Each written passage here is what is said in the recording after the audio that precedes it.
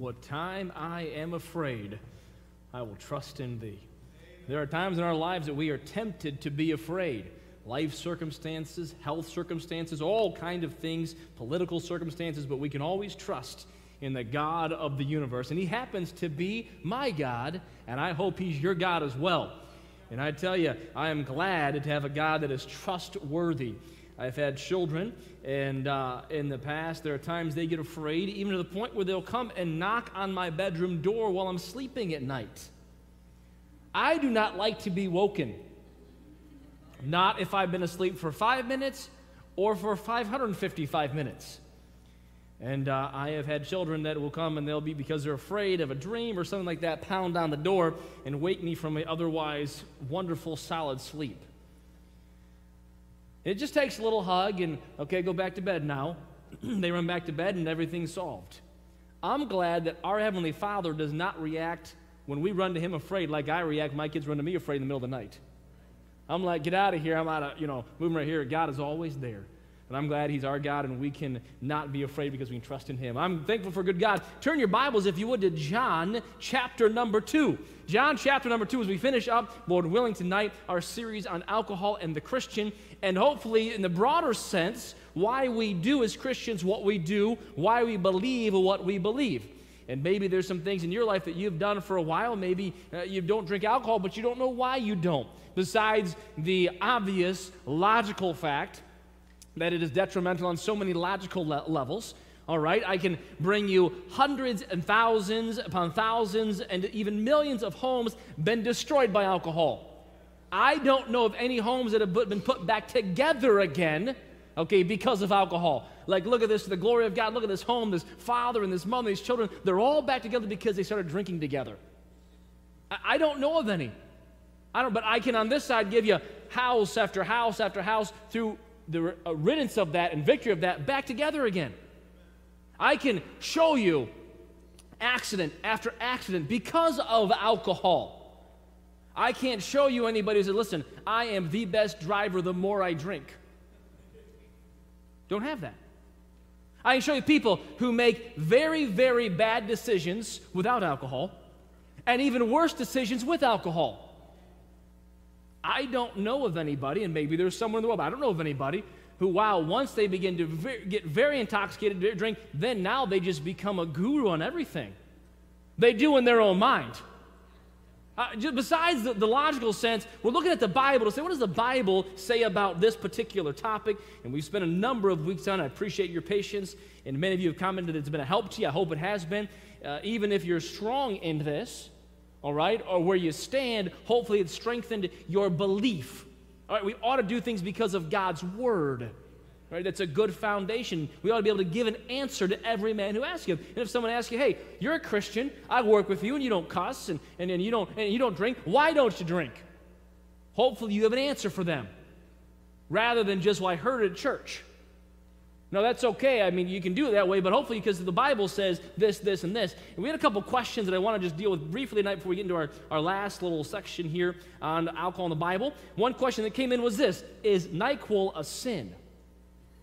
No, no, no. And, and uh, I will not, uh, any of these questions I, deal with, I'm not trying to be humorous or anything. I'm glad for the questions and would, would welcome them all. In uh, senior Bible class, we'll have a question and answer day uh, sometimes. And I have told the seniors and juniors at times for years that when you ask those questions, this is a judgment free zone, kind of like Planet Fitness.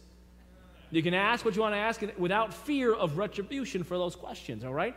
Every once in a while over the past 15 years, every once in a while you have someone that's trying to be a little bit, a little bit snarky, a little bit, uh, they want to uh, tangle verbally. And uh, sometimes it's a teenager. Those people, we usually can remind them that I'm older than they are and smarter than they are, but, uh, but questions is fine. Is NyQuil a sin? I would point you to Proverbs 31, verse 6, where the Bible says, Give strong drink unto him that is ready to perish shown to be used strong drink in a medicinal a medicinal manner. Now some people will refuse that even under those circumstances. If you remember and i'll talk about it again tonight my major pre- premise and principle is that alcohol is not to be used as a beverage for a christian. So if you're drinking nyquil because you're thirsty I would suggest finding something else. Medicinal. But there are a number of medications out there that, when abused, have very bad side effects, correct? But under the right scenario, can be helpful. Morphine would be one of one such treatment, would it not? Can it be abused? No doubt. Can it, for a medicinal purpose, be an assistance to that? Well, yes. Now, some people will say, well, I don't want to use any of that at all, and I have no problem with that. No problem. Some people, well, there's some painkillers out there uh, that are very heavy painkillers, right? Very heavy. I, I tend personally, this is a personal thing, I tend to avoid those. All right, I tend to avoid those. Uh, some of them have very, some very addictive qualities to them. I tend to avoid them. I am not telling you the Bible says you have to avoid all of them. I'm telling you that I avoid them. All right, and I and if you choose to avoid them, fine. I, I do think there's some risk involved in some of those things, but to say it's a sin, I do think we see that there is an exception there for medicinal purposes. And two other questions here, kind of along the same line. Is there any context in the Bible where wine is grape juice? I think we showed that. And then what's the Greek word for grape juice since there's a distinction? And the Greek word there is oinos. All right, and that word in not only the Bible, but in ancient writings. All right, I did some study in ancient writings, uh, not just a biblical scholar, but a uh, men who were scholars during that particular time period. What is the etymology? What was the how was that particular word used in their culture? all right, and studied some of their writings. And the word also during that time would stand for jelly and for jam, for grape juice, for an alcoholic fermented wine, for reconstituted grape juice, or for anything that happened to be from the vine. All right, in that culture, in that time period, that word oinos that we have in our New Testament, the Greek word, was used all over the place. It was a very common word for anything from the vine. The last question that I want to deal with tonight was Did Jesus turn water into wine? Or what did he turn into? And that is the subject of tonight's lesson. So that worked perfectly. A nice little lead in. See that? So turn your Bibles, if you're not there, to John and the second chapter. We have in John this the time that Jesus turned water into wine. And this particular miracle has been I believe, much abused in the context of what, uh, how the Bible, I believe, portrays it. And hopefully tonight I'll give you some ideas and some principles that I, why I believe that what Jesus turned this water into was not an alcoholic beverage. All right, I'm going to give you some principles tonight based on that. That's where I'm going with this. I read an article, like I told you early on, I read different articles. I read an article from a, a pastor. He was a lead pastor. Now, some churches, they have to designate who's the lead pastor and who's not the lead pastor, right? This was the lead pastor. I don't know what he led, but he's a lead pastor.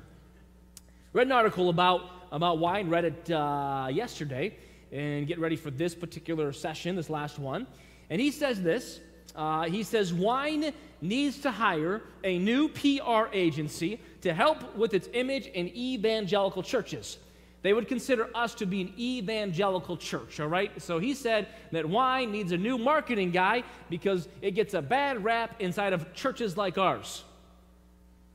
He's right. He's right. So far, he and I agree, except that they don't need to hire a new marketing guy. It is often ignored or rejected by many American Christians. I don't have time or interest to unpack why it is that wine fell on hard times among many Bible believing churches. But I am interested, he says, he writes, in helping to paint a more biblical, faithful picture of wine with the hope that I can encourage my brothers and sisters to understand wine as a gift, an image used in Scripture to teach truth about God, and an element of our Christian faith and practice. So he says, I want to help you uh, expand the view of wine because it's a gift and it is an element of Christian faith and practice. He goes on to say this, and this is what really got me. There's a few things that'll get me. This was one of them. Let me read you the last paragraph that he writes Wine is the gift of God. That didn't get me yet. All right, all right, we, we, can, we, can, we can argue about that, but in it, we see, in it, in wine, in wine, we see the love of God in providing life and joy for all people. Now, I'm not there yet, but I'm getting real close when I read that. If he'd stopped there, I just would have said, well, he and I majorly and, and, and, and completely disagree. But he continues, and this is where he got me.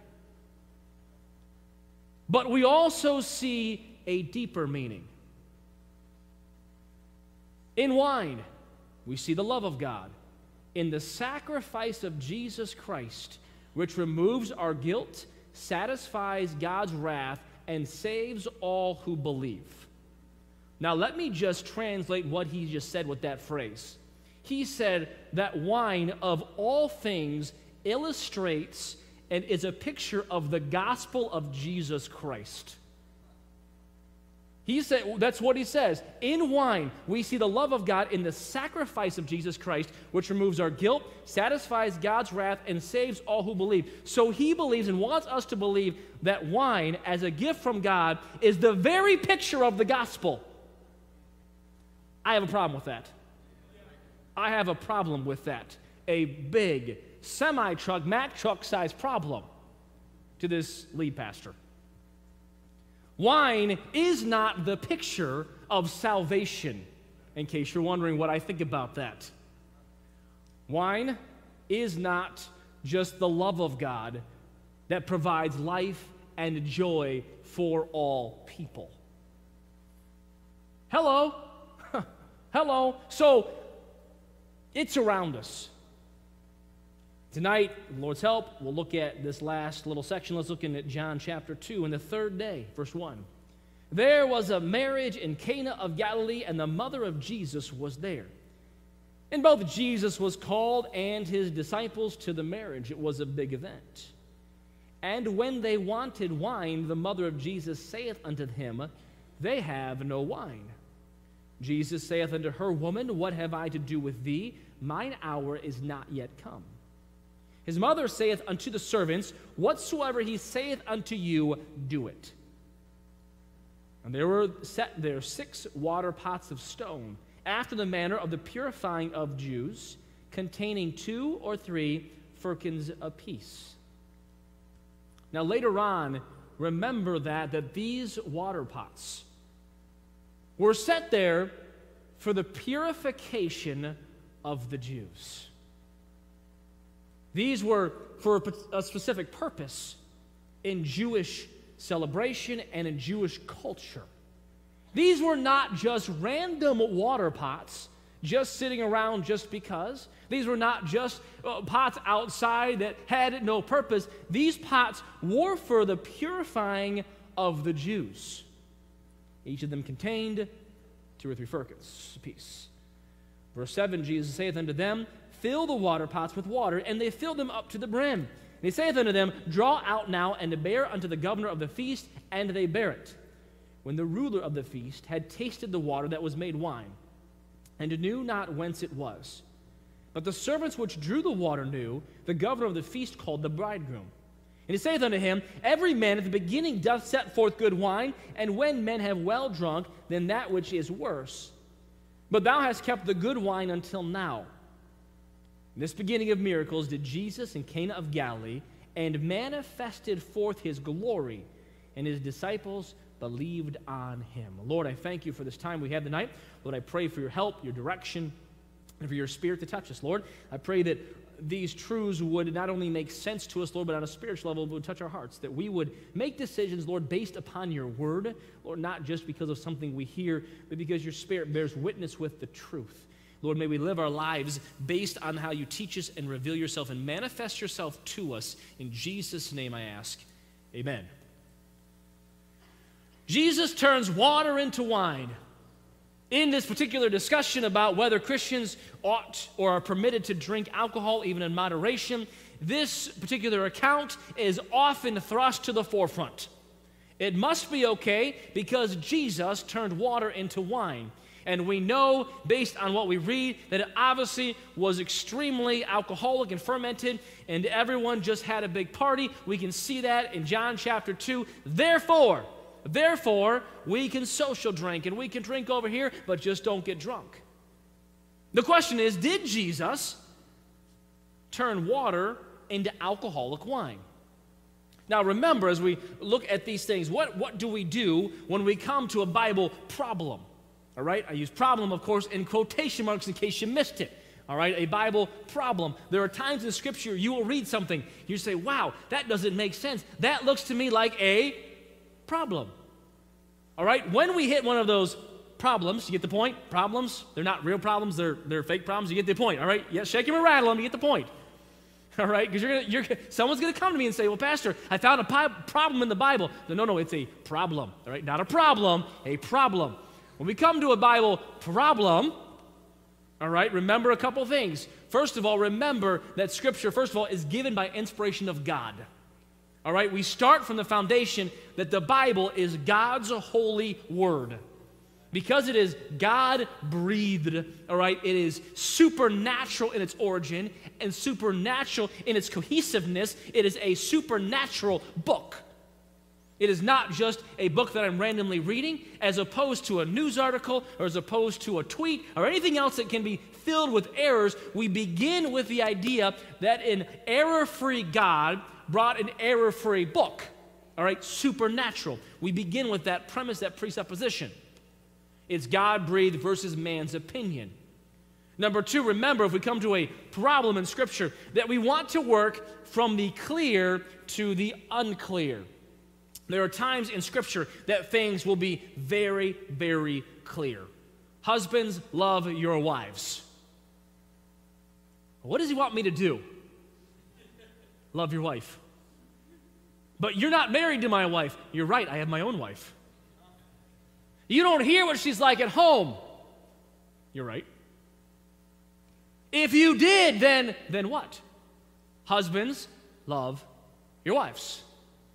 Wives, reverence your husbands. See, I just figured I'd step on toes tonight, right? Well, you don't know how dumb my husband is. I have some inkling. If you knew all the poor decisions he made, you wouldn't respect him either. Perhaps, but I don't have to. It doesn't say, friends reverence your friend, or another husband reverence the other husband, all right? Some things, things are very clear. Other times, things are not as clear. We want to work from the clear to the unclear. We don't start with the unclear. So that's why I began the last few weeks talking about the clear things that the Bible says about alcohol and wine. Things that you're like, okay, that makes sense. So now we can deal with some unclear things. And remember this third, this fourth principle. I'm sorry, third principle that Scripture does not contradict itself. So if it appears to contradict itself, the appearance is in my perception and my understanding, not in God's word. Don't forget that verse, for my thoughts are not your thoughts. It is quite possible that your mind or my mind is not as smart and as capable as God's mind. That means just maybe, just maybe, there are some things that will be a mystery, all right, that my mind will not fully comprehend until I'm translated in glory with Him. But along the way, he gave us a rational, logical mind. He is a rational and logical creator. You can see that throughout creation. Creation makes sense. All right? If you look at your body, it makes sense. You have opposable thumbs. All right? What if your thumbs came off your elbows? That wouldn't make sense. Your eyeballs are here, they're not in the bottom of your heels. Right? He was a logical and rational creator. The way the world spins, everything that happens is rational. So remember, we have a rational God who gave us a rational mind to think rationally. But there may be some things that are right out of our reach. But Scripture cannot contradict itself. So we come to John chapter 2 now. We say, what, what happens here with water into wine? Well, there's a couple of possible answers to, these, to this particular situation. The first answer, all right, the one that some would claim, I'm not claiming this, some would claim that Jesus turned H2O, water, from where they drew it from a well, into alcoholic wine. That's the first possible answer, right? The one that some people claim. That what he made was something that was just intoxicating, that was, according to modern alcohol content, 11 to 13 percent.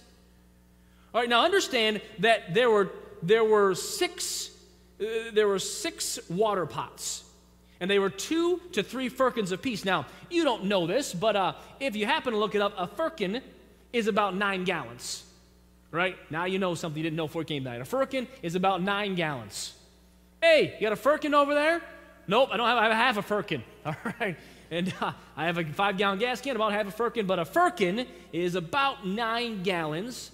So each of these water pots, two to three firkins apiece, were about 18 to 27 gallons of liquid.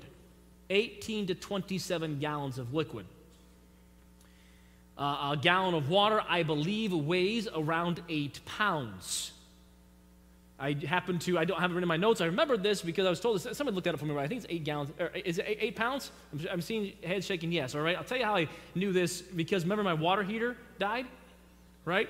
Water heater was a 40 gallon water, uh, uh, uh 40 gallon water heater. When I was replacing on Saturday, I'm like, man, this thing is heavy. Then I realized there was about 40 gallons of water in it. It's about 320 pounds, for those of you who can do math. Plus, the water heater was about 125 pounds itself. And if you ask, I moved it, yes, I did move it. All right, all by myself. And uh, so I, I, happen to know how much water weighs. These would have weighed at uh, 20 pounds, uh, 20 gallons, about 160 pounds. Right, give or take a few in there. These were not light things, 160 pounds, and uh, men, that can be a little bit of weight for you, 160 pounds. To move a water pot that weighs 160 pounds, maybe there are two, maybe there are three, three servants apiece. We don't know how many servants, but there were some there.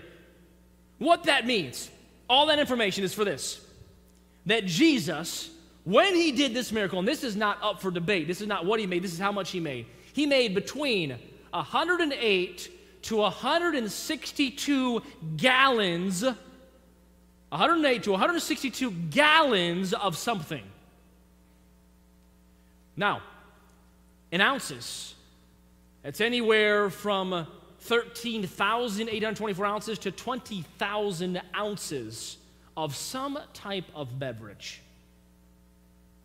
Now, this was probably a larger feast but understand that 150, about midpoint in there, 145, 145 gallons of wine is a whole heap of wine. A whole heap of it.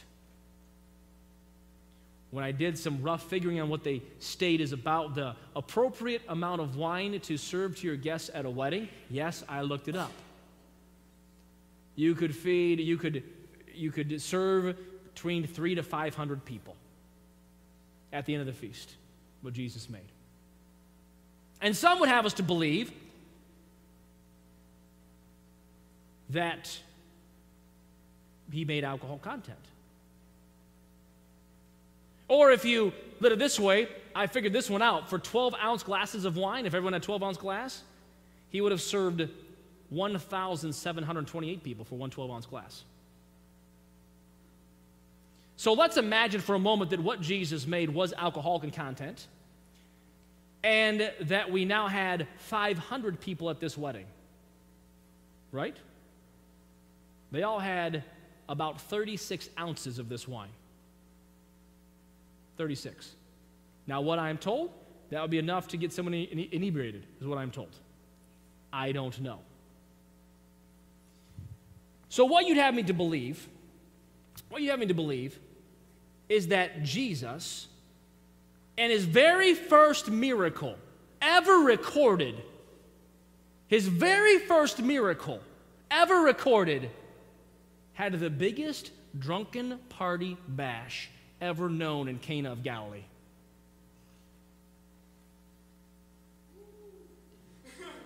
No, no, I mean, help me here, right? Because it's at the end of the week. And that what the governor says is, whoa, if, if we're to believe this is what he did, what we're to believe is that what the governor said was, whoa, normally people put good stuff out first, but wow, you've saved the best till the end. This stuff is awesome, loosely translated. That's what he says, right? Whoa, whatever this stuff is, boy, you've crushed it.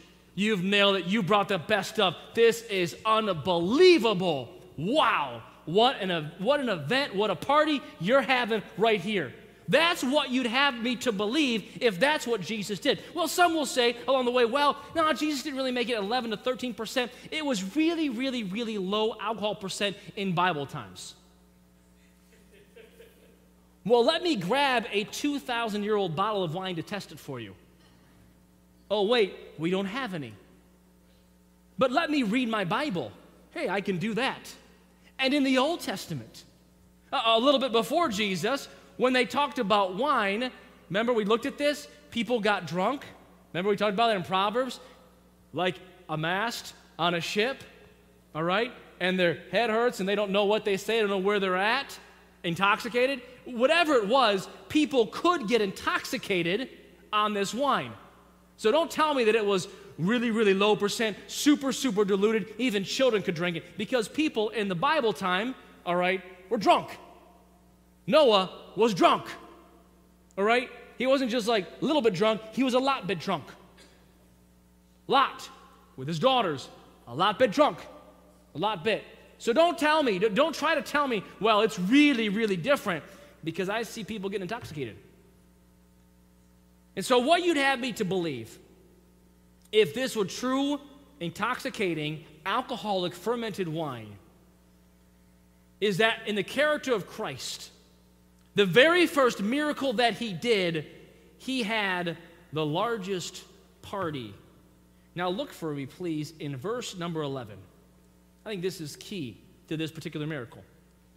This beginning of miracles did Jesus in Cana of Galilee and manifested forth his glory. So you're going to tell me that Jesus when he revealed his glory, the glory of the Son of God, the glory of God the Father, eh, the beginning of miracles manifested himself, the first thing he did was get everybody drunk. And that reveals the nature and the glory of God. Help me here, because that's what they want us to believe. If that's what it is, then that's what Jesus' revelation of himself and the, the verse goes on that says, and his disciples believed on him. Wow, you've got to follow the guy we follow. He knows how to have a party. That's what you'd have me to believe. His disciples believed on him. Wow, you've got to follow this guy because he's done things we've never even seen. Boy, people were just dropping all over the place. They were passed out on the floor. This is our Savior? It does not jive with my understanding of Jesus Christ. It doesn't. I cannot justify, I cannot qualify it, I cannot make sense in that scenario. Beyond that, to do that and to provide that much, all right, he'd be going against the teaching of the command in Habakkuk, giving his brother to drink he would have denigrated himself because the one who is the Word, Jesus is the Word in John chapter 1, one chapter earlier, is, is the same Word who says that this wine biteth like a serpent and stings like an adder. Don't be deceived by it. The same one who said not to be deceived by it, who is the Word, then produces it for everybody at this wedding to show himself. And not only was it just any alcoholic wine, it was the best they'd ever tasted. Or, or Jesus made a juice that was so fine and refined. A juice that was the sweetest, most elegant juice ever known. I don't know which one jives with your scripture. Because if Jesus made water into wine, then let's get the moonshine rolling. Jesus turned water into wine, we better all become craft brewers. That's what Jesus did to show his glory. Or maybe Jesus did something else. And so I don't take that water, I'm going to make something wonderful for you. That's not going to cause you to sin. That will not cause you to be addicted to it. That will not be a stumbling block or a snare or violate Scripture, but it'll be in perfect harmony with all of Scripture. That will showcase His glory, the sweetest thing known to man. Doesn't make sense.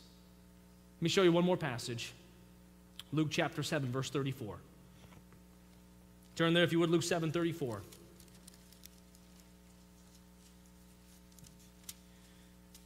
And by the way, those pots for, for purification, if Jesus had made water into wine, would have then denigrated all those Jews. It wouldn't have been pure any longer. It would have changed the purpose. Luke chapter 7, verse 34.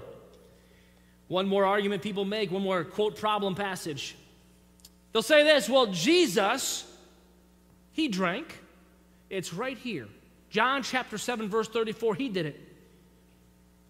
And it says, The Son of Man is come eating and drinking, and ye say, Behold, a gluttonous man and a winebibber, a friend of publicans and the sinners. And they say, Look, Jesus, the Son of Man, he drank wine. He is a wine bibber. Because he was a wine bibber, we can be a wine bibber too. Someone who drinks or becomes intoxicated with wine, who is not afraid to be around wine. This one, I think, is a fairly easy one to answer. He was called this by the Pharisees and the lawyers, the accusers of Jesus. If we were to believe that Jesus in this passage was actually what they said he is, we're going to put more stock in the negative accusation of Jesus than the, the, the totality of Scripture's clear teachings. Let me tell you some other things they also accused Jesus of. They said about Jesus that thou art a Samaritan. They called him a Samaritan. Jesus was not a Samaritan.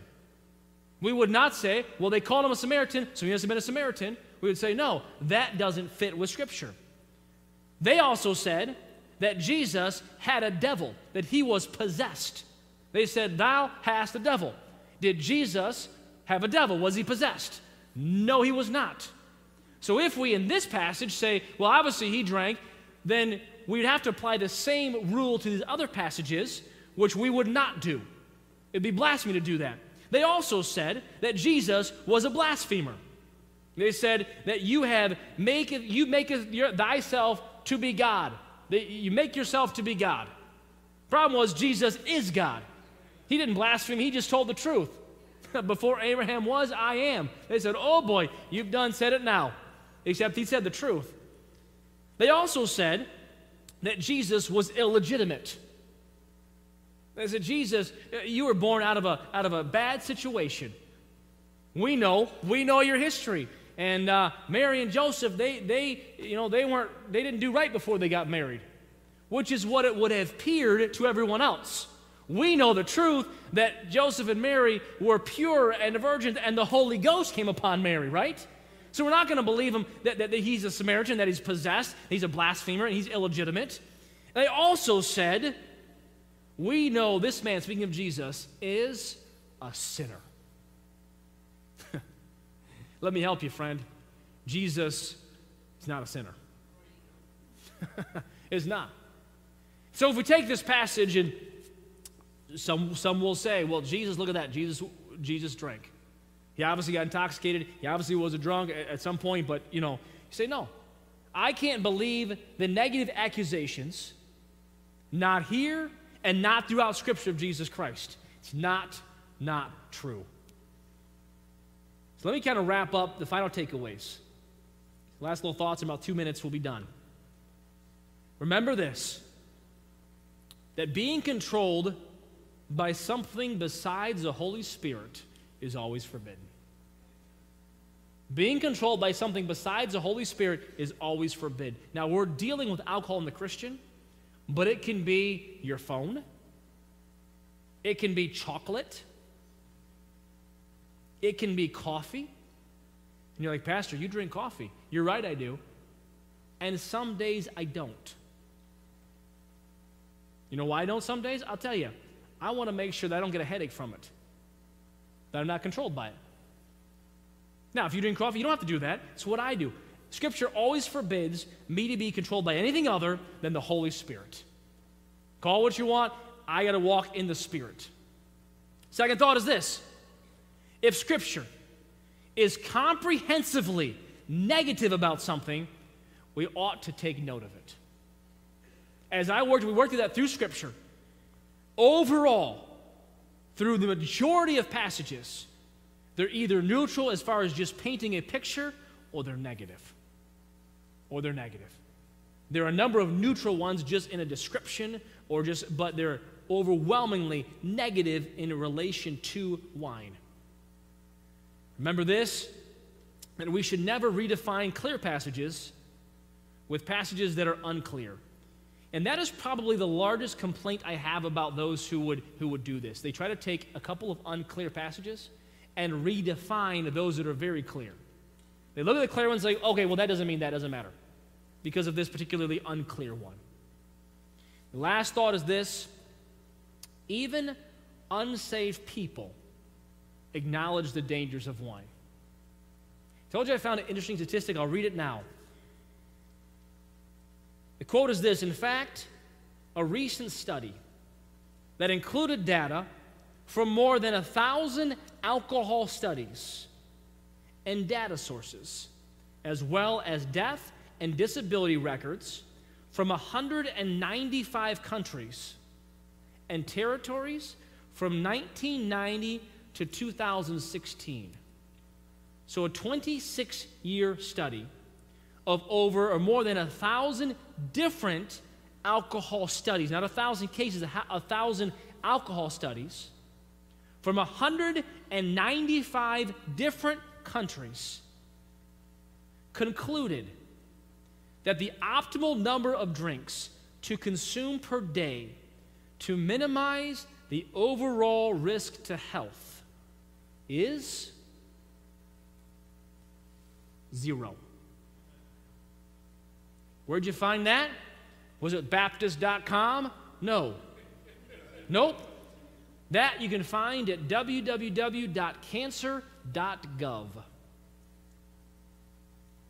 Even unsaved people see the danger in it. So, why would I, as a Christian, say, you know what? It's my liberty. And not only is it my liberty, it is the single thing that illustrates the gospel. My friend, I can't, I, I can't side with that. I look at Scripture and I say, listen, Bible says stay away from it. Lord, thank you for loving us. Thank you for your word. Lord, thank you for the truth from your word. Lord, may our hearts respond to that. In Jesus' name I ask, amen.